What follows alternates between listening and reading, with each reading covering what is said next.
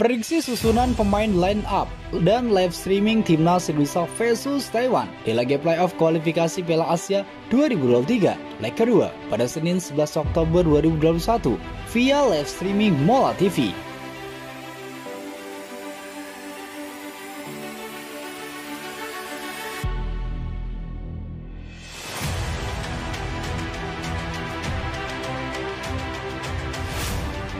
Dalam pertandingan nanti, timnas Merah Putih bertekad meraih hasil positif lagi. Setelah di leg pertama mengalami kemenangan 2-1 dan timnas akan membawa 30 pemainnya. Bagus sekali lagi-lagi Praton dengan pada Cristiano Ronaldo jam jam. Doa.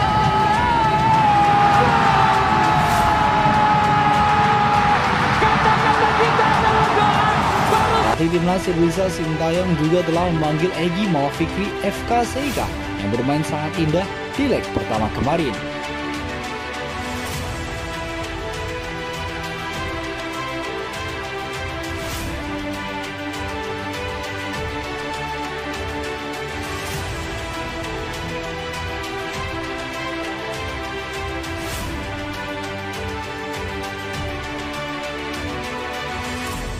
Selain itu, ia juga memanggil tiga pemain yang tampil di Liga Super Malaysia, yakni Sarian Abimanyu, Johor Darul Takzim, Salil Ramdhani, Sabah FC, serta Ri Jutomo, Penang FC. Namun Sadil Ramdhani cedera dan tak bisa ikut rombongan timnas.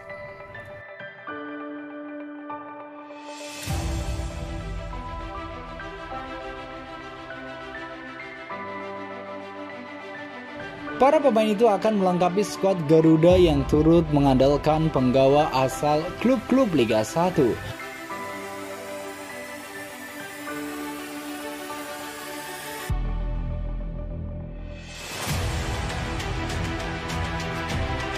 Permainan luar biasa timnas di leg pertama sungguh membuktikan bahwa pengalaman bermain di luar negeri memang sangat diperlukan.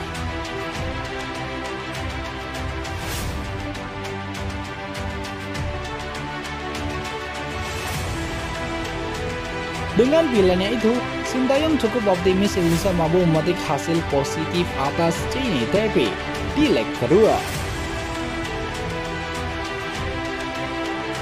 Dan inilah prediksi susunan pemain timnas Indonesia versus Taiwan di leg kedua nanti malam. Kiper Nadio Argawinata Back Asnawi Mangku Alam Riju Tomo Victor Igborevo Pratama Arhan Gelandang ada Evan Dimas Darmono, Karek Agung, Stadian Abimanyu.